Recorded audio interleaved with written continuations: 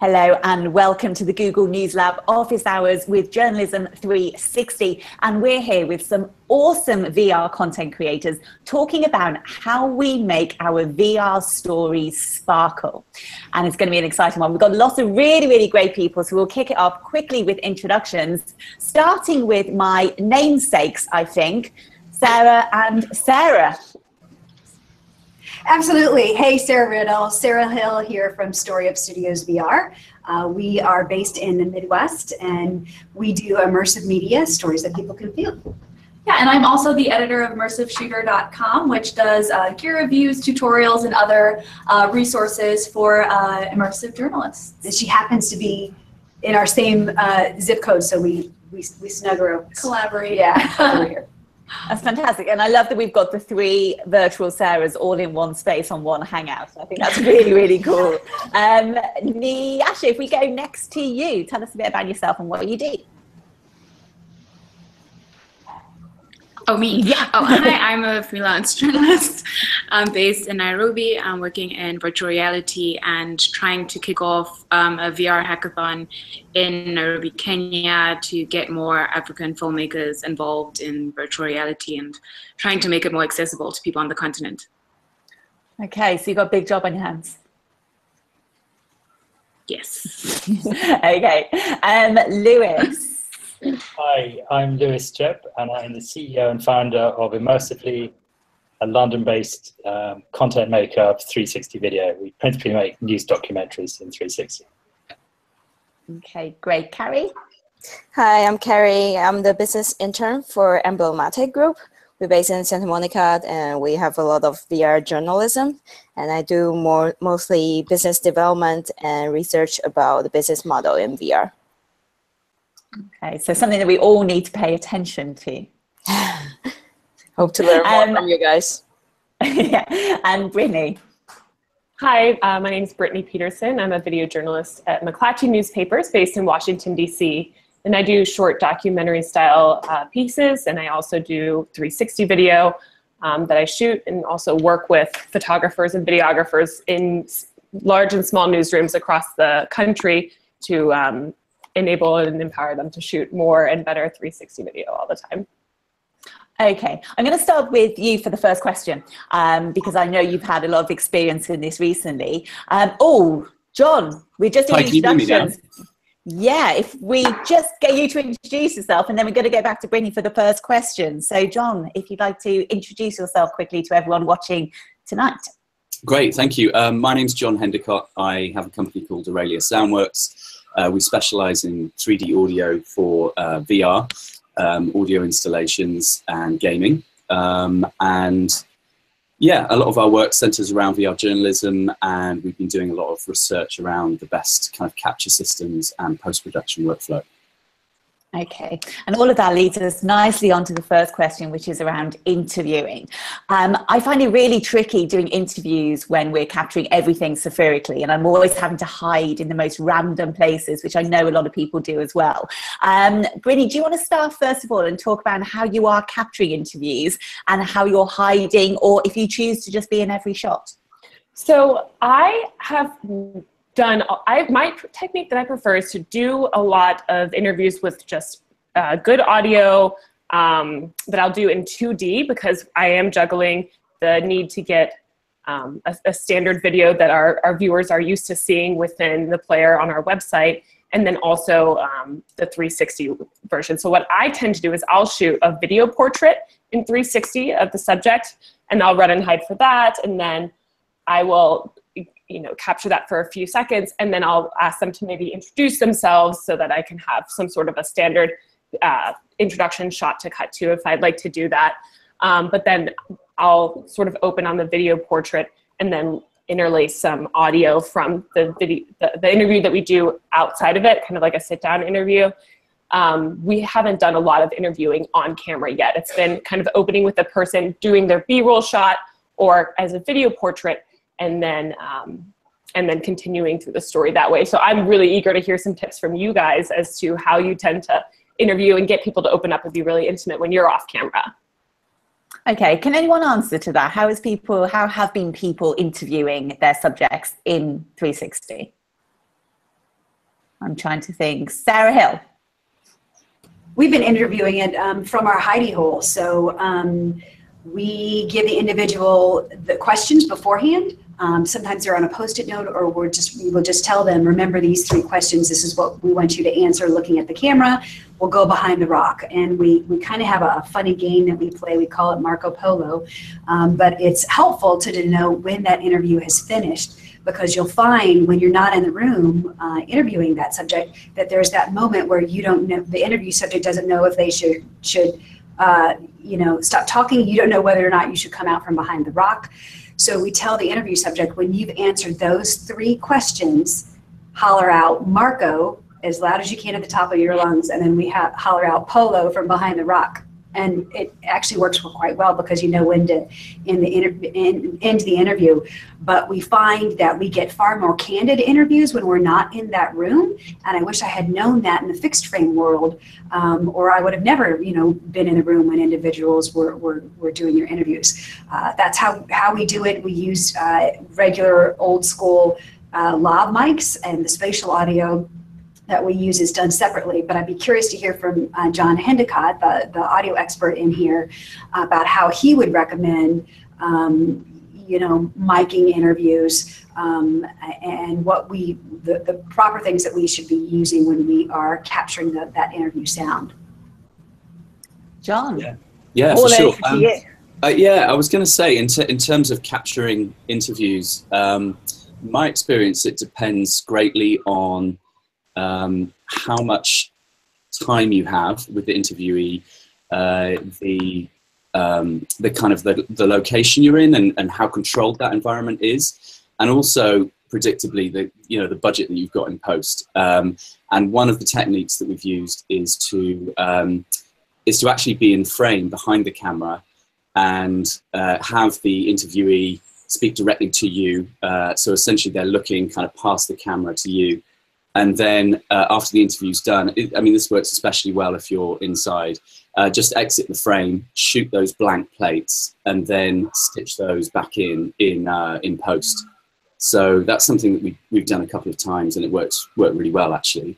Um, but I think it really depends on who you're interviewing. Some people will be really happy just kind of being on their own; they'll feel very natural in front of the camera. For those who maybe need a little bit of help and guidance, then we found actually uh, being there to, to guide the interview really helps, and then stitching ourselves out, like I was saying. Um, so yeah, in, in terms of sound, I think um, what we're trying to achieve is a really good balance between uh, a direct sound source, which will be their lav, um, and then the ambisonic sound, which gives us a sense of immersion in the space. Um, and again, you know, all of these things I think depend on the situation and, and, the budget you have and the equipment you have to hand. I think you know, the, the, the, simplest setup that we recommend is to be recording a lav in the way that you might do normally in 2D. Uh, most people would have access to maybe uh, one of the Sennheiser G3 units. They're like kind of entry level lav systems. They're, they're really good though. Um, if you are uh, recording um, in line of sight and you are fairly close to the interviewee, you can get a very uh, good signal from those. Um, and then we would use uh, a simple uh, spatial audio uh, ambisonic capture system. And I think the, the, most simple one, which we've got here, is the H2N. And I've got it with a with a little windsock on it as well, which is really important. I've, I've had loads of um, recordings handed to me without this without this windsock, and we hear really bad wind noise, which is sometimes um, uh, leading to having to replace the ambience completely. But without the windsock, it's yeah, this is the recorder. And so th- these are fantastic. I mean, you can get these for uh, I think about $130, and um, they will record basic spatial audio. Um, they will record everything on a horizontal on a horizontal plane, so they won't capture vertical information. But nine times out of ten, that's totally fine and usable. And these are great recorders. Um, there's a great study that's just been published recently by the folks at Google and the Dublin um, University, I think it is, who have compared different ambisonic mics. And the H2N came out really well, actually. It's, very, it's got a great kind of natural sound. Um, the next step up, you know, people might have heard of the, the Core Sound Tetra mic, uh, which works really well as well. Um, and, you know, currently we use the Sennheiser Ambeo, and I've got, I've got some of those here as well, so you can have a look. So this is the Ambeo, again, with the stock kind of windsock on. Um, so this is it. This is it without. And then what we would use uh, if we're outside is the Rycote windshield, which obviously, I mean, you can see how big that is compared to the, the, the H2N. So the problem we have with this is um, trying to make it not seen in 360. So we use uh, these kind of Manfrotto clamps to clamp it to uh, the monopod and kind of slightly under the camera. So maybe the camera's up here. Um, so inevitably it will be seen at some point, but hopefully you're trying to get it as close to that upright pole as possible. Um, and the, am the Ambeo mics give off a, a really fantastic sound, um, and we would record those with an external recorder. Um, and we recommend the, uh, the Zoom F8. Um, it's got eight channels, so you can record the four channels that the Ambisonic mic gives you. Plus, you've got four spare channels for, for any lavs that you need to capture. Um, the other good thing about the uh, Zoom F8 is that um, you can control it remotely. So it's got a little uh, iOS app, so you can get out frame and you can hit record and you can monitor the levels. Um, and yeah, it's just a really good budget piece of kit. So, so those are the two kind of approaches. It's like either if I was running and gunning, maybe I'd just use this and have it clamped to the, the upright frame. Uh, if I had more time in a control situation, maybe I'd use the Ambeo. Here's the thing, isn't it, That, um, so difficult to control at the moment. The audio is so important, and yet it's the thing that is most time consuming for people, especially when we're talking about journalism for 360 and we're trying to turn around content quickly. How can people get good audio quickly? Um, do we need to use the H2N or is it better to do other stuff and then program it separately? I think the H2N is fine as long as you're really diligent around how um, how it's placed and making sure that there's, like I was saying, there's no wind on the mic. If if I was in a super windy environment, like even with this, I mean, this is um, again a Rycote make fantastic windshields. So this is a Rycote. I think it's called like the Mini Furry or something. I can't remember what it's called, but um, but it's fantastic and it's really effective. So in most situations, you'll you'll get away with this. Um, and as you're saying, if you need to turn around these pieces really quickly, then super simple setup. You've just got one button to start recording and off you go. Um, if there was no windshield and you have really bad wind, wind noise, then um, in post you're going to have a bit of a nightmare to remove that. Um, and it will really, really affect it because, you know, as we all know, uh, the sense of immersion is so important in uh, 360 and audio um, is a dead giveaway. As soon as the sound is wrong, we are removed from that sense of presence. So I think the best thing is um, to make sure if you are using an H2N, uh, to make sure it has that wind protection, then uh, in post you won't have to do hopefully any kind of cleaning up of the audio and then you just kind of match the levels between the ambisonic and the lav mic. Okay, so can you just show the um, the field recorder that, that John was talking about? Yeah, so this is a Zoom um, F4 uh, essentially, but it's a field recorder that works with the the our Ambeo. So it's just a, a little pack, not very big, but again, as he was talking about, you know, having to hide it under the camera. Um, yeah. Yeah, lots of scrubbing afterwards to um, remove it all from the shots. Um, how, how are you dealing with, with audio in the work that you're doing? Um, so far, it's, it's been pretty hard with uh, the technology that we have. Um, so we've been doing uh, interviews separately um, for, for sound interviews and then lacing that into the actual edit. Um, but also, we had, I think, a Sennheiser, um, no, not a Sennheiser, a Zoom kit um, mic that we had that we would usually like plug somewhere near the camera in a hidden position, or you would attach it to one of the, the characters in the shot. Okay. And Lewis, what about you? Well, it's a very interesting challenge because the, the question you point you made about timing is that is is entirely and that John made as well um, it's entirely what governs it. So when we did our first series of interview pieces, which was a series of auto portraits of people in Los Angeles in 2015, where we could set them up with lav mics, um, we used lav mics. But where we were, you know, guerrilla filming on pavements, where we had clearance to film, and where uh, people either didn't have a, a shirt on or you know, didn't have somewhere to attach the mic, we simply gave them the recorder, which sounds incredibly crude, but I'd rather get the story than not and having them holding, you know, Zoom recorder. So that's in extremis. Um, and yes, so now we've been using some of the kit that John just showed, the, you know, the basic um, Zoom ambisonic recorder, I found extremely useful. Um, and the great thing is that, you know, you can use it uh, very close coupled with a, with a monopod and a small consumer camera. Um, and it's the ease of use, which is fantastic. Yeah.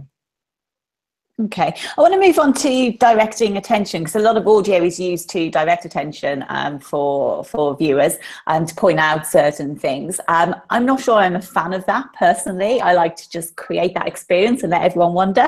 Um, but how are people directing attention? Are you using audio? Um, what else are you using to direct attention? Um, Carrie, do you want to pick that up first?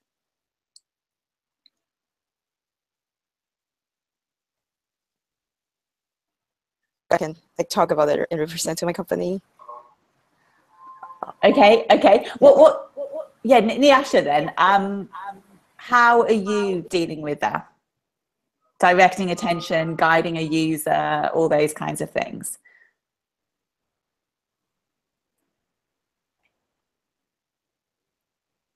Nyasha? Oh, sorry, sorry, the connection's quite bad. Um, a lot of the, one of the things we've used is graphics is to direct people's attention, especially if there's a lot of information that you want the user to know, but probably lost in a voiceover. We've used a lot of graphics to, or editing to basically um, highlight the main character in one part of the room and then sort of expand and then illuminate the rest of the scene.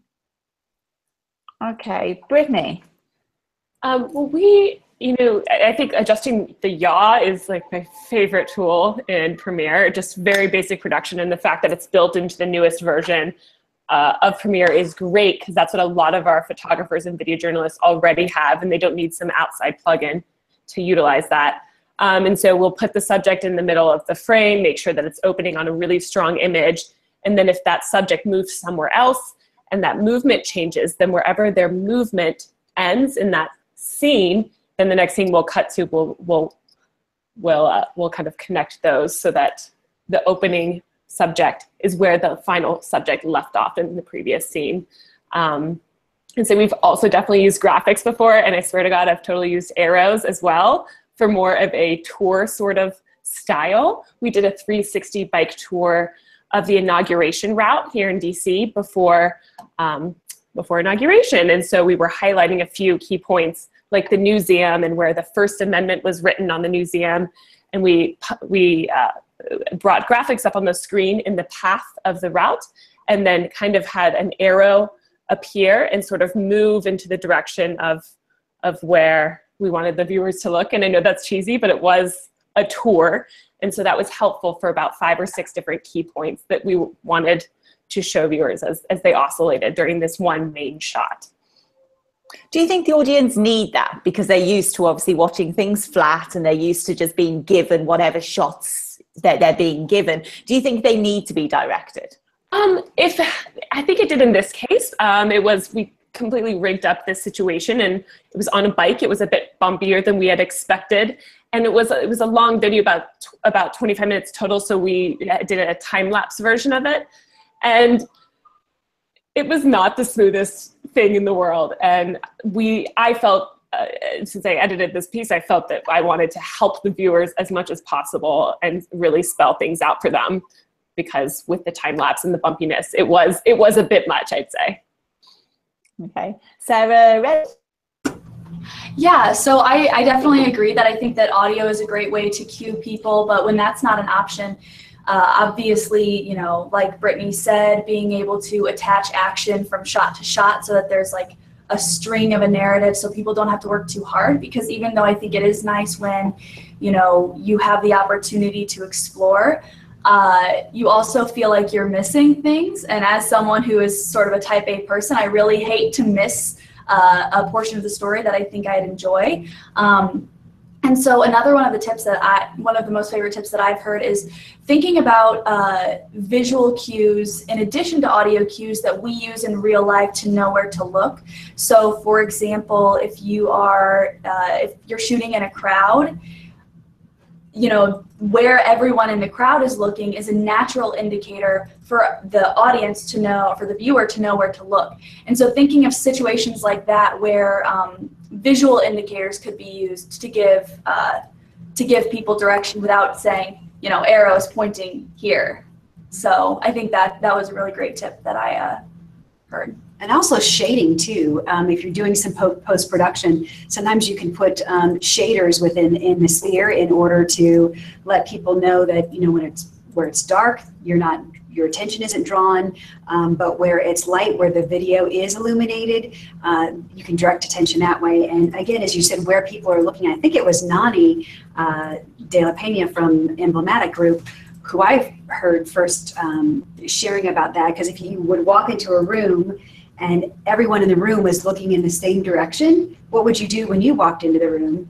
You would go in and you'd be like, what are they looking at? And so, you know, other people in the shot are, are great ways. Now, as journalists, we can't, you know, um, stage that, but there are times when you are shooting and, um, you know, or, or, filmmakers who do stage some of those those things. Um, sometimes you're able to do that.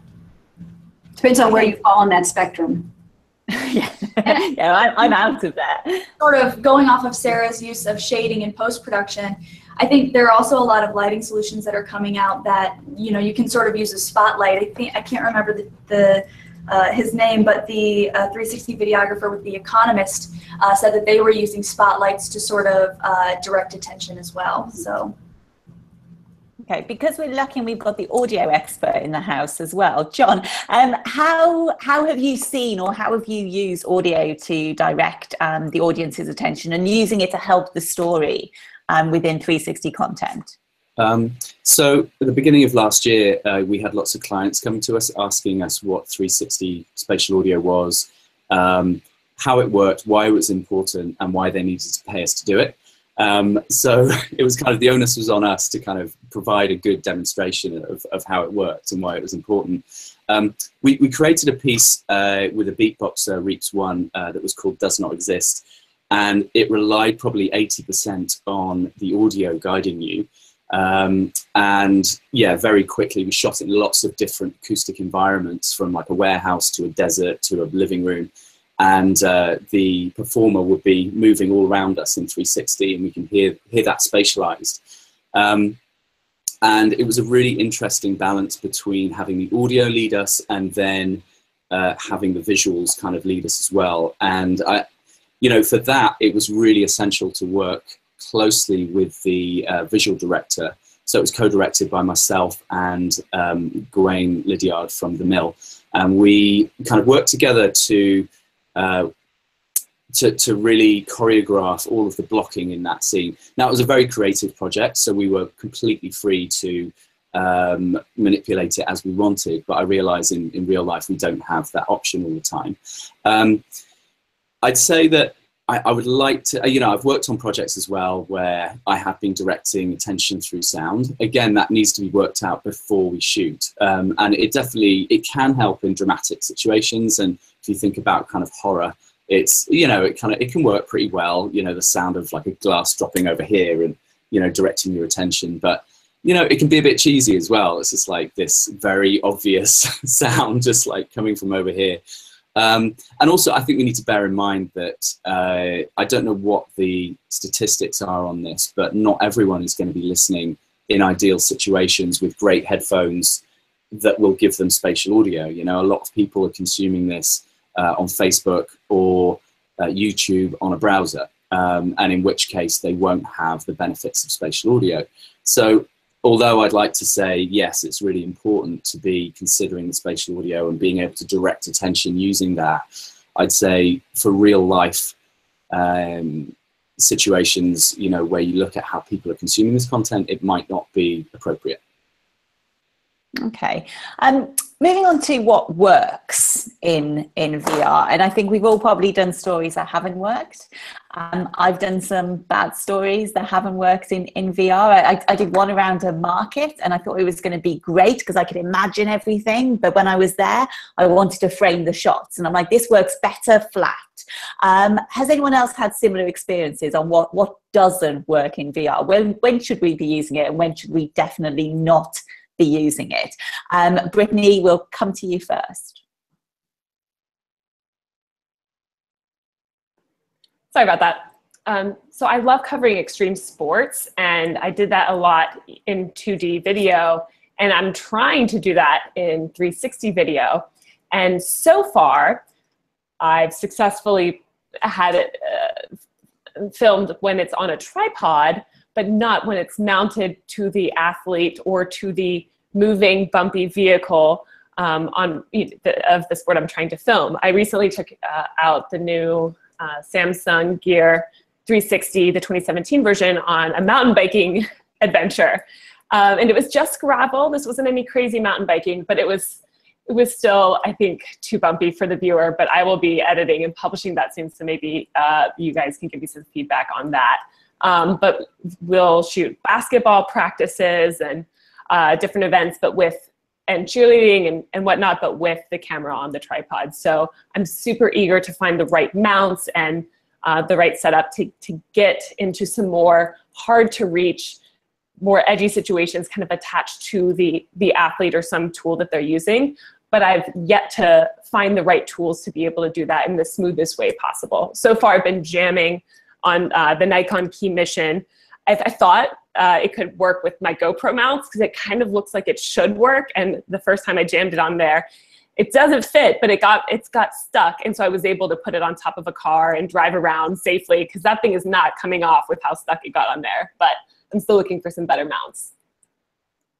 Okay, Carrie, um, what what do you think works from kind of the the business perspective? Like making money out of content the the business um, needs all that kind of thing. What works and what doesn't in vr well i think so far the content need to be very um, related to what people cares about what people are already paying for so like we have a lot of social impact related contents and we showcase a museum and people who go to museum, they already care about those social issues. So a lot of people were so emotional and they was like, it's great. They're going to show it with you, share that with their friends. Um, but like when I talk to my friend from business school, for example, they don't care that much about the social caucus, and then they care more about the, for example, like cinematic um, experience, the movie they already know. Um, so talking about that recently, I'm doing some research about um, what VR strategy Chinese company have, and a lot of them are thinking big about utilizing their IP. So uh, once they release a new film, they're going to have VR content and VR game on top of the regular mobile games and the regular 3D games. Um, so I guess you need to attract your audience based on what they already care about. Like you're not going to make people who love entertainment to care that much about social impact and also using the new technology to understand that issues originally they don't care so much about. Okay, so wide range of things, but it, it is, it's down to what an audience is actually wanting. Um, Lewis, um, what do you think works and what doesn't work in VR? What, what should we not be filming in VR? Well, one thing I think we should, um, if I can switch that into a positive, I think one thing to take care to get right is um, the close field when you're filming anything in 360 because um, I think Felix and Paul made a very good point at South by Southwest this year that in composing in 360, they think of close field as being more important than the fact that you're in a 360 sphere. And the reason I think that is so important is that we mustn't forget about the viewer. Um, when we make this content, yes, we're, we're doing great stuff and people know that it's a new format, but it's a three-way pact between you know, the filmmaker, the subject, and the publisher. And if you think about the viewer, we're asking them to be a, a sun in the middle of a solar system. And, know, and it's a completely different way of experiencing content. if you get the close field correct, you're giving them some markers so they understand where they are and how to gauge the narrative. So it's a slightly existential idea, but I think that is why it's so important that when people are experimenting in this field, that they work very hard on what you know that close field proximity what really works how do they get people's interest because then if you get that right the outer field um, you know, looks after itself as a supporting act, as it were. So, to my mind, what is really powerful the close field and the and the far field, as it were. And so, the key thing is um, when you're thinking, you know, what does and doesn't work, think about something that's extremely engaging in close field, so that if we're perhaps doing an interview, if that interview can be if the actual setting can be close field as well, so you get a lot of incidental richness from the actual physical setting, um, it's not only contextual, but it's close enough that people feel they're engaging with the physical part of the story, the surroundings. Um, and that's just one way in which, you know, really focusing on close field, you can make something which is apparently simple very rich. Okay. Um, Actually, Sarah and Sarah, can I come to you now on the same thing? Um, just I'll, I'll, ask you both both together around that same theme. What what what doesn't work in VR? What should we just be filming flat or or not filming at all? Um, in my opinion, we should break the china. So it, it seems like um, you know, early on we were really using this medium with kid gloves as this, oh, it's only reserved for certain circumstances. And to me, the only way we're going to learn how to tell stories properly in the space is to tell a lot of bad stories. Um, and, and we've all, you know, told stories that should have never um, been told in a spherical environment, but we did it because we needed to know how to do it. So to me, I think we need to we need to break the china. We need to see what works and and what do, doesn't work. Don't put it up on a shelf that you only bring it out for special occasions because you know that's not how you you you learn in a medium. Yeah, I tend to agree. And I think since so many people are still watching these uh, videos on desktop and on mobile, they can always reframe and they can always sort of choose their own view. So I don't think for those, you know, 90% of people, if we do something uh, in 360 that we maybe should have done fixed frame, I don't think that we're necessarily uh, discounting their experience. I mean, I've seen a lot of videos that are um, you know did not need to be 360 but i can always choose what i look at and and create my own flat fixed frame experience from that 360 and i think as the technology improves too with like over capture and being able to transition into and out of 360 environments into fixed frame i think that the any rules that we set now are just they're going to change. So i agree with sarah break the china. Yeah and and that having that said from a, you know teaching environments there absolutely needs to be rules on what should and shouldn't like we should have that that general guidance um, but maybe not use that as a limiting limiting factor to us Okay, Nyasha, I'm, I'm interested to see hear from you on on this as well. Have you been filming everything, making the most of the technology, and filming everything spherically, or are you picking and choosing stories, um, depending on what you think will work and not work? Um, Nyasha, what what, what's your thoughts on it? Mainly for us, we mainly film everything in 360 because I think you don't really know until you get back into the edit what worked and what didn't. Um, so it's it's more I would say with every type of different shot or ex- like um, experience or scene. I wouldn't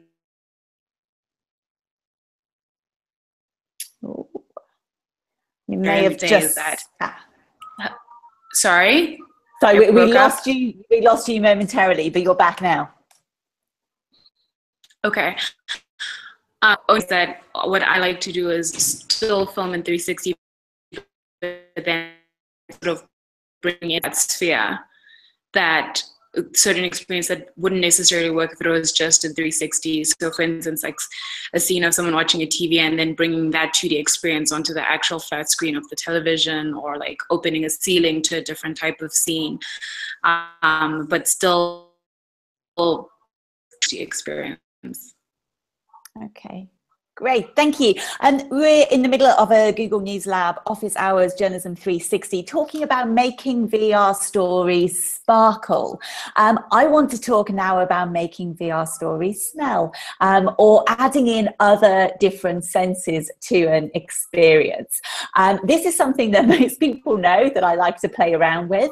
Um, I like to add in different smells to an experience or heat or other different senses to create that full experience of what's around us. Um, I might be a little bit unique in that area, um, but I want to know what other people think about adding in different smells. And obviously, this isn't something that we can distribute widely to everybody unless we start plugging in smell attachments to our phones. Um, so it might be more of a unique market. But does anyone has anyone else played around with multisensory experiences? And what do you think of it? Um, Brittany,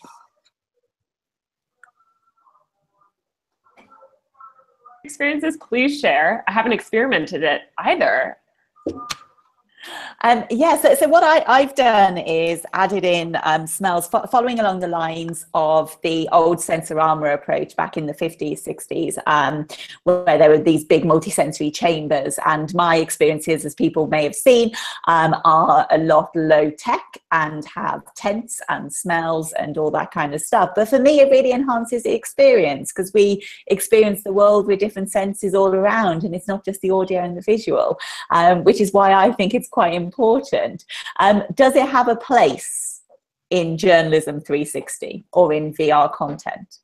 I think it does. I think what you're doing with smells is, is fascinating. I tell you all the time that you stink. and I love you too. But yeah, I mean, it absolutely does because that's what you, as, as a storyteller, do. You, you try to place um, in, into an environment, and aroma obviously is one of your senses. And there's existing research shows that you know aroma, certain aromas affect the brain differently. So um, I, you know, you're, you're seeing some of these necklaces come out at VRLA. They had like um, a necklace, and, and, Jackie Morie, who's a fascinating individual, you should, you should follow her on her uh, social site. She came up with some kind of uh, prototype that has different aroma, different things on um, necklaces you know, it's not too long ago that vibration in um, a story might have been thought of as odd, but yet you see SubPacs all the time being strapped to, to individuals' um, bodies so that they can feel the vibration of the rocket um, or, or something like that. So I think what you're doing is is fascinating, and you know, a hardware person just needs to figure out, you know, how do you do that at scale and how do you capture the aroma of a beer garden on channel 4 you know what i mean? I mean what's that capture kind of capture um, equipment out there that allows you to to capture aroma? It's really tough. It's it's really really tough. And and for me it's about taking you back to that place and the someone asked me recently about how i make sure that the smell is exactly right um, and this was somebody that had gone off to the amazon to make a film and they'd taken a perfumer with them and it was this big documentary and i'm like yeah i just went down to the market and bought some chinese spices and mixed them up and i thought that was about right. Um, but for me it's more that everyone smells things differently in the same way that we see things differently and we hear things differently and we take an experience that's unique to ourselves. So the smell, even if it's produced accurately, will smell different to different people. Um, and it's about situating you in that environment. Um, but it is about the hardware, it's about getting that out there to, to people. Um, but we are seeing a lot more multisensory experiences at, um, at various VR events. Um, so a lot of people are starting to to do this. Um, Carrie, do you think that there is the opportunity for multi-sensory experiences to, to go larger scale. Well, I definitely definitely think it makes sense for public um, exhibitions. People will be interested in the format itself. Oh, wait, you see, you you're saying that I can smell something from like thousand miles away, and they will be willing to try it out. And another potential opportunity is the another haptic stuff. Um, I tried out at VRLA, so like you can play uh, with the virtual ball, and they use some like air you feel like you're touching it, and you can even feel the age of it. And currently at Emblematic, we are working on a detective detective um, related content. It's basically um, as an audience, you walk into a crime scene and you can interact with those evidence. Of course, there will be like clearly like wrapped in the bags, and the detective will give you some instructions on what you can do or what you cannot do, and potentially combining that with the haptic stuffs I talk about will give the audience more ideas like how interactive a VR piece could be. Do you think it could go main? Oh, sorry, Sarah. Yeah. I was just going to say, Ultra Haptics is also doing some some fascinating things. I know they just received a, a big round of funding, but the, the the idea that you can touch objects, objects and feel them that aren't there through ultrasound waves um, in the environment. I don't know what their site is, but it, their name is Ultra Haptics. Okay, I will look at them and harass them. Um, John, uh, you obviously audio king will you open up the experiences to smells? Do you think that's just as important as audio, or um, are you pushing it away? um, I, I, think it's a really fascinating um, sense to uh, to play with in VR. Um, my my first experience of 3D audio was with a company called Earfilms, and what we were doing is creating. Um, uh, we created a feature film just for your ears. So it was up, for, uh, up to 100 people sat down blindfolded in a, in a huge um, speaker array. So we had 23 speakers. And we created this 3D sound journey with the idea that um, when you switch off your visual sense, you become, all your other senses are kind of heightened. And the images that we create in our minds are, can be really, really vivid. Um, and we were exploring the idea of smell with that as well. Um, we had a lot of practical issues with that because we were in such a huge space we, you know, it would be like a 50 foot by 50 foot room, and you know, it was very hard to control uh, smells in that environment. Um, but I have seen it in VR, and again, it's it's when it's done well, it, it can really enhance the experience. Um, and actually, uh, there was an experience called Tree Hugger, which won Tribeca this year. Um, by Marshmallow Laser Feast, and I mean it was, it was a stunning VR experience where they uh, scanned a 4,000 year old sequoia, sequoia tree, and you become like a water droplet that's taken up through the roots, up the branch system, and then you become part of that photosynthesis cycle. Um, and whilst you're around in the undergrowth, they incorporated smell into that as well, and it was hugely effective. So again, I think um, yeah, where, where, it's appropriate, um, it can be done really well. In terms of the devices used to uh, propagate smell and to kind of clear that and move in different smells. I'm not up, so up on the technology, but I'll be fascinated to see how it develops. That's the That's hardest, the hardest thing that I found is, is clearing that smell mm. and people wanting the smells to change throughout an experience. But it's really hard to to shift a smell and bring in a new smell. Um, and me as a journalist, it's not really my skill set, um, but I'm trying. Um, Lewis, what have you tried out recently along these lines? Lewis. I think Lewis is there. Has he frozen? It's the smells that have hit him, I think. No, Lewis has gone. He was going to tell us something really interesting, but we'll um, come back to him maybe. Um, when we're talking about journalism and 360, one of the most important questions that everybody asks is around ethics. Um, so we couldn't have a, a, hangout without talking about ethics. Um, it is always a hot topic. Um, Brittany, do you want to start first? And given the kind of live reports that you've been doing recently and capturing lots of different um, uh, stories, how are you dealing with ethics in 360? Do you think it's just the normal journalism code of conduct, um, or should there be more applied to 360 content? Yeah, I think with immersive content like 360 video and with uh, drone footage, I think that those all bring in and very um, very interesting set of uh, ethics because you know with with I was recently at the Poynter Drone workshop this past weekend yesterday in um, in Madison, and we were kind of talking about how anything if, that you wouldn't shoot at a, at a crime scene or you know whatever kind of scene from the ground you probably shouldn't shoot it from above. You need to apply those same set of ethics and you know i'd like to think that that's pretty similar with 360 video we just shot a crime scene last week um, when there was the shooting uh, in washington d.c of a congressman last wednesday and one of my colleagues went out to shoot video of that crime scene. And I mean, in the same way, granted, you're very taped off uh, from getting too close, but we shot everything that we could have shot from that area and you know reproduced it we didn't have great audio uh, we it was a qu- very much a quick turn and we were lucky to get the camera out there so we layered you know there was kind of a very quiet subtle audio but we just kind of brought that down general audio from the scene and, and we layered quotes from people who weren't there and so to not be deceiving about that, we labeled on the screen exactly who those voices were. Um, a lot of congressmen, the president, uh, things like that. So when it's something that's not true to the scene, we absolutely label on screen um, just to be uh, very, very, very clear about it. And so far, we have not done any staging.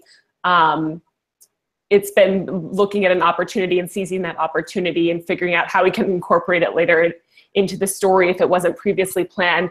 Haven't done any staging, and if I, I'd be hesitant uh, to do that. And if, if, I did, I would be very um, transparent about my decision to do that. And um, yeah, love, love to hear what everyone else thinks. Yeah. Nyasha, um, can I come to you and ask you about storytelling ethics in immersive media? Do you think it's different? Um, and how do you talk about this? How, how do you, you deal with this when you're out in the field? I think it's pretty similar. I think one of the fine lines that we have to is because you, with 360 you're trying to be so creative and come up with all these different things and add different elements and sounds and it's how do you still stay true to the sound with uh, to the essence of the story and what it actually was without going over the top. And I think a lot of times now with the technology everybody's trying to make something new and more creative and fresh but it ends up being a little too much already have experienced if it was flat. Um, so I think that is where uh, there's been a bit of an issue with certain stories that I have seen that have come across. But I would still agree with Brittany that in general, the principles are the same. Okay. And um, the way you produce the stories have to be upfront about your involvement and where you were in that space and that type of thing. Okay, thank you. Sarah Hill. You've done a lot of work around ethics. Um, tell us a bit more about that. Yeah, and actually, it hasn't been me, but it has been Journalism 360. And so, if you're not familiar with that organization, it's a joint project with Google News Lab, the Knight Foundation, and the Online News Association. And so, they are trying to come up um, and, and help creators navigate that uncertainty of ethics when it comes to what you can and can't do in a sphere um, on our the, the, the Twitter feed for Journalism 360 and on our Medium post, which is at medium.com slash journalism um, underscore 360. You'll see some posts from, from, from Taylor, who's created a whole survey uh, of journalists. And I encourage you to go online in association with the Associated Press and take those surveys. Um, it, it's asking questions about the questions that all of us ask. You know, should we be cloning our, our nadirs um, out, the equipment out um, in some of these uh, scenes? And reality is is that you know it's going to differ from from shop to shop. Um, in our shop, we clone out our nadirs. That's what um, Mark Maple is doing right now. He is, you know, cloning out uh, the tripod on a shop. But other shops, uh, shops might not be okay with that, and that's okay.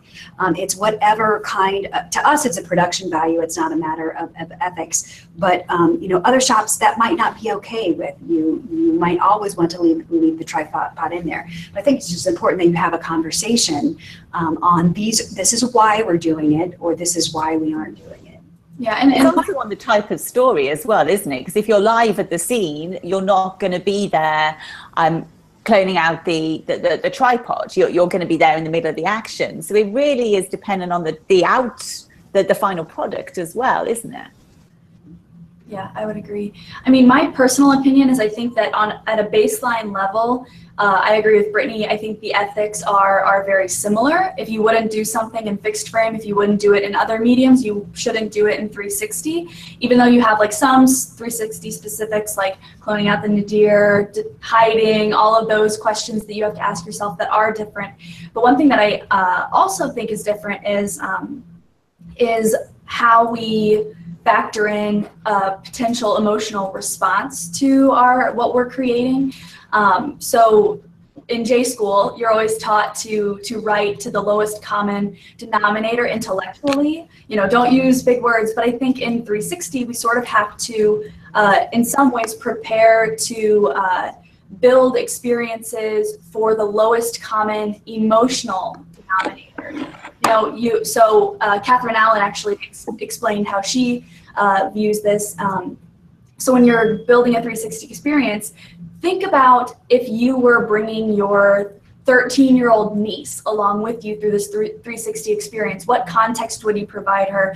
What guidance would you provide her? What would you show her? What would you not show her? And sort of think about that person as your uh, lowest common in, uh, emotional denominator rather than an intellectual denominator. Yeah, so true. And you know, that's one of the things that it doesn't seem like we're always talking about, but um, you know, the content that we are placing people in um, can seem really real to people.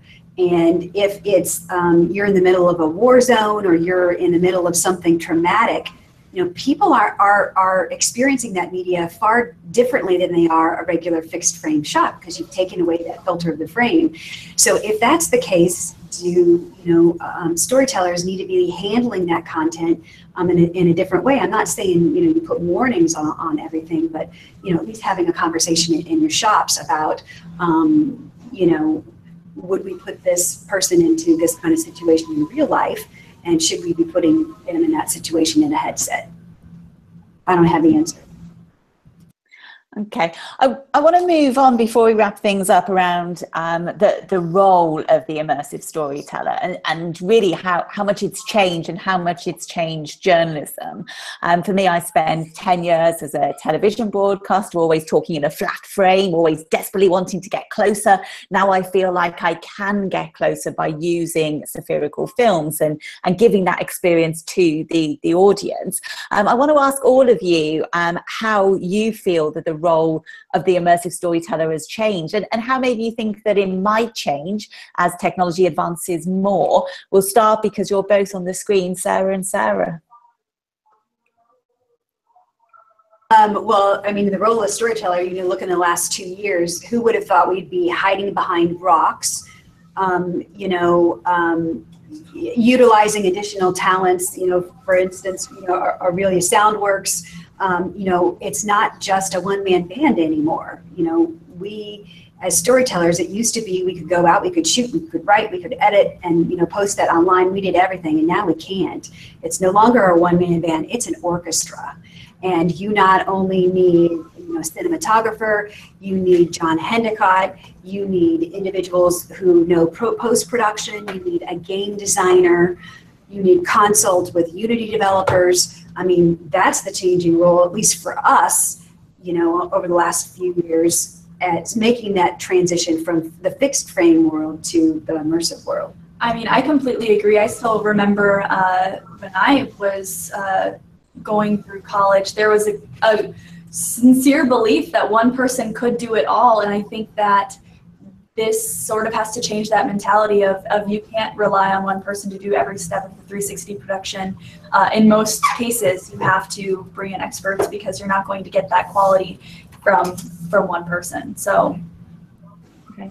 Nyasha, um, can I ask you, how, how do you think that the role of the immersive storyteller has changed, how you've changed as a journalist? I think I've had less control a lot of times on the environments that we're filming in because either you're hiding behind a rock or it's much harder to know what the what answers are being told. If you're interviewing somebody it's it's a lot more about a lot more pre-production to make sure that things work. And it's also the fact that accepting that well you'll get back to the edit and certain things won't be as you had imagined them. And it's because you're just removed from the scene that you can't really do much Okay, Lewis? I think the big change is something that started to come and which will be a much bigger change in the in the coming years, and that is um, how we connect with our audience.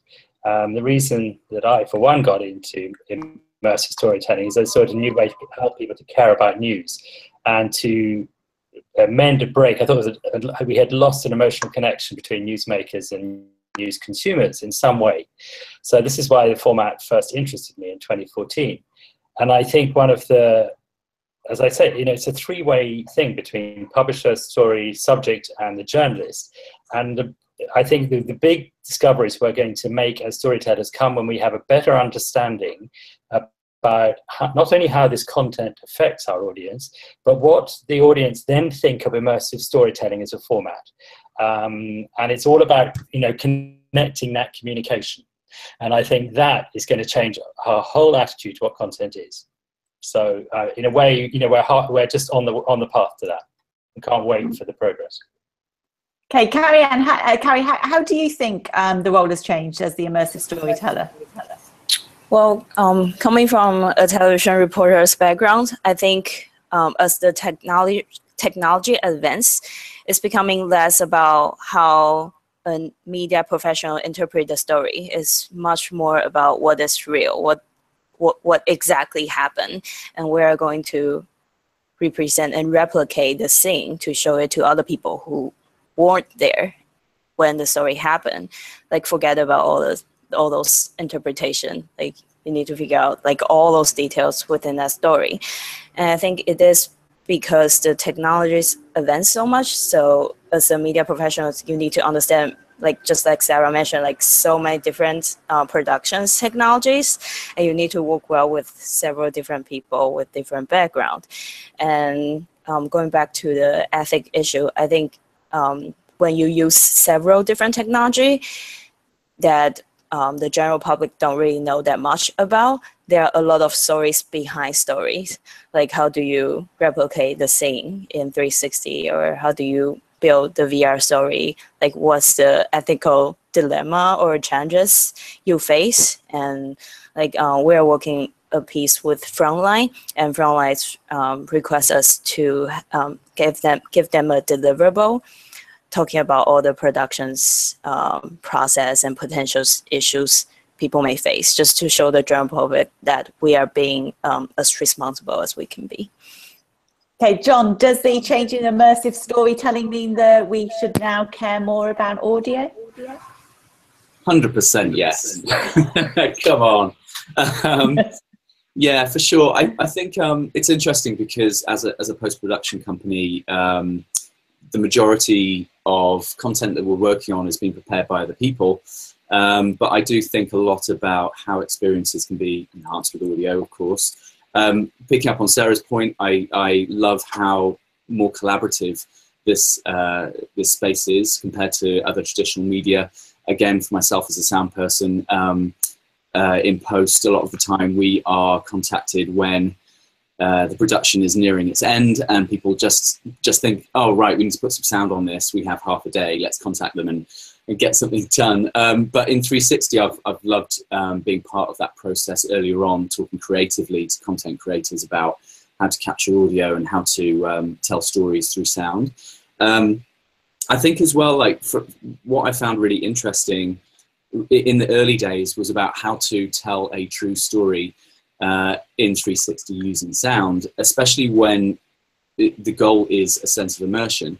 So if we're covering real life events, um, you know, first of all, I thought, well, should we just be relying on those location recordings? Should should we just make it feel like we're really there um, and not embellish that? You know, is our responsibility to present this information kind of naked in that way? And um, slowly but surely we've kind of found a balance where we, we think you know that there's always uh, you know some sense of emotional arc in story. Obviously if it's if it's a more dramatic story we've started using more cinematic techniques you know through score and sound design. And i think for us uh, it's really reframed our thoughts on the role of sound design and score in experiences. Um, you if you're too heavy handed it can totally remove you from the experience. So it needs to be just very subtly done. And I think that's um, something that we have been constantly monitoring and changing throughout our experience of working in VR and 360 video. Okay, thanks then. Um, final question for all of you. Brittany, I'm going to start with you because we're tied for time. Um, I just want your one tip, your one person that you think is making VR stories sparkle. Who should people go and follow on Twitter or other social networks to find out more about what they're doing? So, your top tip for people that make VR stories sparkle. Brittany, who would you like to wave the flag for? Uh, I will wave my flag for my buddy Steve Johnson. He is a very understated, very humble guy that you've probably never heard of, but is in the shadows doing some amazing stuff with uh, 360 and VR. And his uh, company is C Boundless. Check him out. Okay, great. John. Um, well, I have to I have to mention Sarah and the guys at Story Up because um, they were one of the first people that we we worked with. Actually, um, one of our clients is Jaunt, and they did the uh, DC Memorial piece um, Honor Everywhere with Jaunt, and that was uh, a really fantastic use of 360. It had really strong emotional impact um, that I hadn't seen uh, yet uh, in 360 at that time. Um, and just to mention as well, I think on a technical level, um, we've done some sports um, pieces with Camp 4 Collective, who have done lots of um, amazing, incredible 2D content. And what's uh, different about them is um, all of the filmmakers are kind of extreme sportsmen and women. So they have access to uh, incredible locations, and uh, their 360 footage was pretty mind blowing. Hey, Carrie. Um, I recommend Liv Erickson's um, at Fidelity. She works more on the educational side of VR. Hey, Lewis. Oh, Lewis, are you there? Uh, you're on mute. Yeah. Yeah, who, who is your top tip that's making VR stories sparkle? I'm not sure if the connection's going to hold up. So, Niash? Oh, I can't. I can't hear you. Sorry, Lewis. Nyasha, who would you say is making VR stories sparkle? Um, I would say Travis Knapp, who just produced um, We Who Remain, which is a VR film shot in a conflict zone in Sudan. Um, I think the tailoring in the poignant stories and also the environment that they were filming in is really something to be seen. Sarah Redohl? Uh, well, it's not so much a content creator, but uh, Michael Mansouri slash Radiant Images just because his concept is sort of if you can imagine it, you should be able to do it in 360. Um, and he sort of has a finger on every single camera that's being developed. So what we're all out there using, he was part of making that happen for, for many of the cameras. So. And I think every, everyone in this hangout, you know, from Aurelia to Emblematic Group to Immersively, Nyasha, Brittany at McClatchy, um, all of you guys are, are fascinating and people watching this should look up their work and definitely their sites. Um, also, Nick Bicanic, um, he has a company called Revolver Labs and he's doing some fascinating work and really understands from a hardware perspective and he also blogs about some interesting things about uh, directing attention. And also um, Socrates Lozano. Socrates Lozano uh, works for Scripps. He does some really good narrationless immersive storytelling uh, with some consumer grade cameras. But um, what he's been able to capture in floods and in, in fires and things like that um, is really pretty unique. So those are just a couple individuals. Brilliant. And of course, like you said, everybody in this Hangout. Um, thank you all for joining us. It's the end of our Google News Lab office hours with Journalism 360, talking about how to make VR stories sparkle. And I think what we all agree on is thank goodness for rocks when we're filming, because um, the number of us that hide behind rocks um, is awesome. Um, so maybe we should all just carry those with us and it should be in our essential toolkit, um, along with our cameras and our mics and everything else. Um, so thank you very very much for joining us. Follow um, Journalism 360 on uh, Twitter to find out when the next one is, and we will see you all soon. Thank you very much.